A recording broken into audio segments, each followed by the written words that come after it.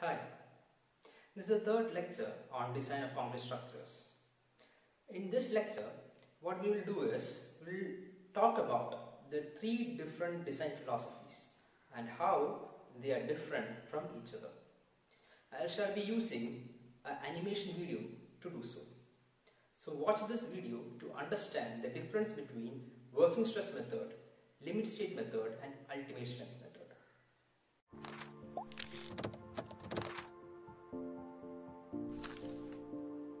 Reinforced concrete structures are generally designed by using working stress method, ultimate load method, and limit state method. Let us learn each of these methods in detail. Let us begin with the working stress method. It is one of the traditional methods used for designing the structures. It is not only used in designing a reinforced concrete structure, but also used in designing steel and timber structures. This method of design is based on the linear elastic theory. Working stress method ensures safety by restricting the stresses in materials which may be induced by the expected working loads on the structure. The assumption of linear elastic behavior is justifiable since the permissible stresses are kept below the ultimate strength of the material. The ratio of yield stress of the material to the corresponding working stress is termed as the factor of safety, where yield stress is the stress level at which the reinforced concrete ceases to behave elastically. In this method, factor of safety 3 is used for concrete and 1.8 is used for steel. This method assumes strain compatibility where the strain in reinforcing steel is assumed to be equal to the adjoining concrete. Consequently, the stresses in steel are linearly related to the stresses in concrete by a constant factor which is called as modular ratio. Working stress method is the only method used to investigate the reinforced concrete section for service stresses and serviceability states of deflection and cracking.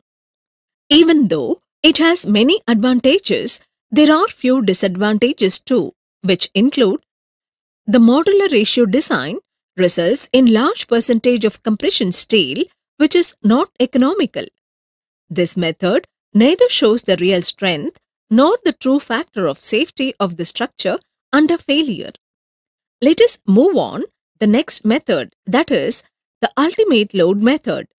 This method was developed to overcome the discrepancies in working stress method.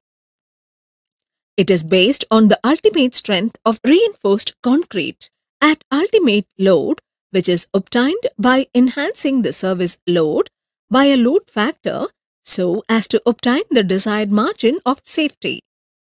In this method, the stress condition of a structure is analyzed during the state of collapse using a nonlinear stress strain curve of steel and concrete.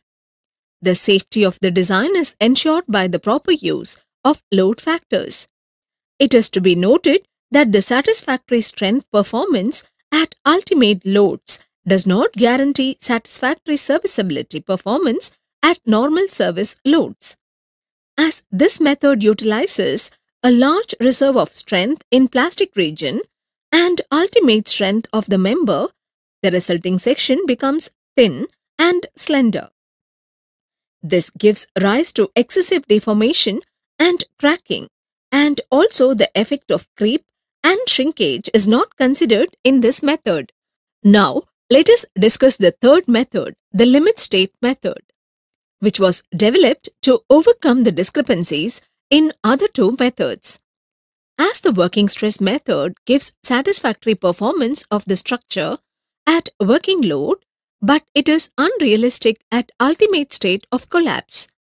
Similarly, the ultimate load method ensures the realistic assessment of safety but does not guarantee the serviceability requirements under service load.